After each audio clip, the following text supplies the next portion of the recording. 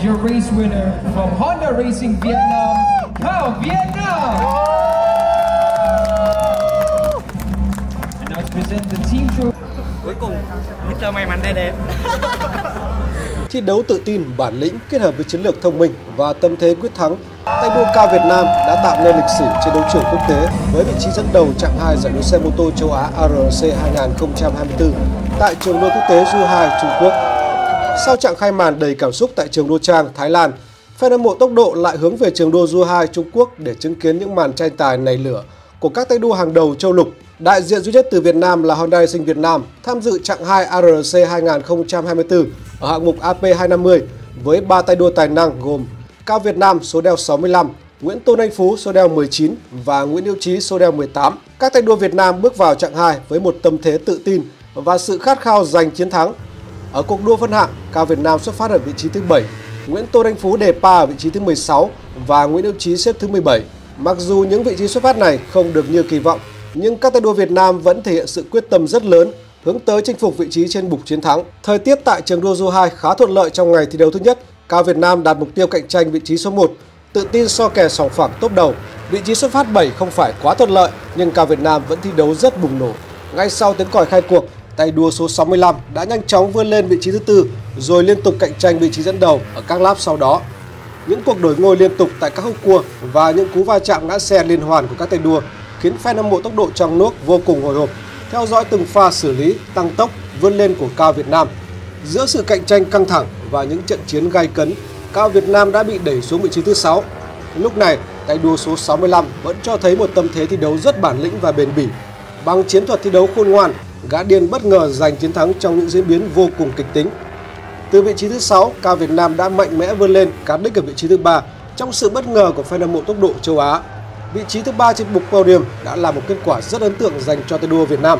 Thế nhưng bất ngờ đã xảy ra khi hai tay đua về đích đầu tiên bị phạm lỗi và phải nhường vị trí số 1 trên bục chiến thắng cho Cao Việt Nam. Như vậy, sau rất nhiều mong chờ, cuối cùng thần may mắn đã chịu mỉm cười với Cao Việt Nam trên đấu trường quốc tế. Lần đầu tiên tay đua số 65 của Honda Racing Việt Nam bước lên bục podium tại giải đua ARC lại là vị trí cao nhất. Khoảnh khắc quốc ca Việt Nam vang lên trên đấu trường quốc tế thật xúc động, chứa đựng bao cảm xúc kìm nén của cả Honda Racing Việt Nam và fan hâm mộ.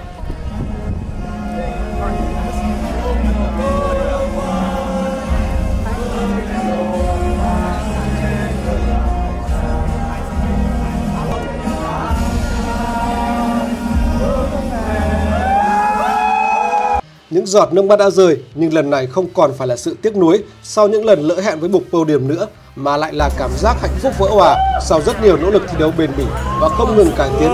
Cuối cùng thì Honda Racing Việt Nam cũng đã ghi dấu trên bản đồ đua xe quốc tế và tạo nên một cột mốc lịch sử cho bộ môn đua xe thể thao Việt Nam. cuối cùng Mr. may mắn đã đến Ờ, em rất là vui vì ờ, ờ, cuối cùng thì cùng với sự cố gắng và cái sự may mắn thì em cũng nghĩ là đây là món quà của uh, Đức Chúa Trời ban tặng cho em nên là uh, em uh, giải tỏa được rất nhiều cái suy nghĩ uh, áp lực trong uh, đầu em suốt từ chặng 1 đến giờ. Em muốn gửi tới ba em ở trên kia. Tại vì lúc bắt đầu cuộc đua khi mà em bắt đầu leo lên xe em luôn luôn nhìn thấy số 67 hiển thị ở trên cái nhiệt độ động cơ của em. Thì uh, ba em sinh năm 1967, và em uh, ba em mất cách đây 2 năm. Thì uh, cái tên của em cũng được ba em đặt và kỳ vọng là sẽ làm được cái gì đó rất là lớn leo cho Việt Nam.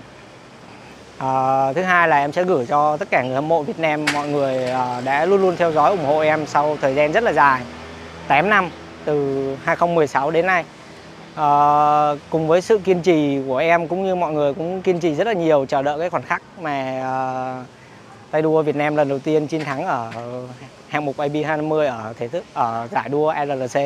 Đối với hai tay đua còn lại của Honda Racing Việt Nam cũng đã hoàn thành tốt race 1 với các vị trí xuất phát lần lượt là 16 và 17. Tô Anh Phú và Nguyễn Hữu Trí đã về đích ở các vị trí 18 và 14.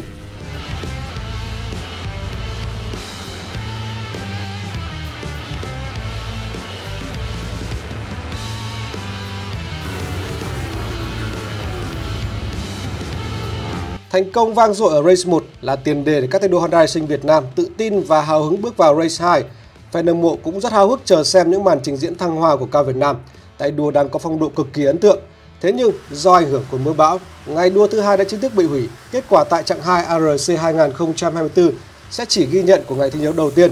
Mặc dù ngày đua thứ hai bị hủy do điều kiện thời tiết không đảm bảo, nhưng bù lại đội đua Honda Racing Việt Nam đã được Tổng lãnh sự quán Đại sứ quán Việt Nam tại Quảng Châu, Trung Quốc ghé thăm, chúc mừng, động viên và trao quà. Sự quan tâm và khích lệ của Tổng lãnh sự quán sẽ càng tiếp thêm động lực cho các tay đua Việt Nam nỗ lực thi đấu tốt hơn nữa trong các chặng tiếp theo.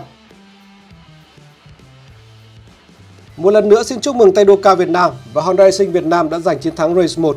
Một chiến thắng đầy kịch tính và quá đỗi ngọt ngào cho những nỗ lực không biết mệt mỏi của tay đua số 65. Chúng ta hãy cùng theo dõi và cổ vũ cho các tay đua Việt Nam trên hành trình chinh phục những cột mốc mới tại chặng 3 ARC 2024 diễn ra ở Nhật Bản vào tháng 6 tới.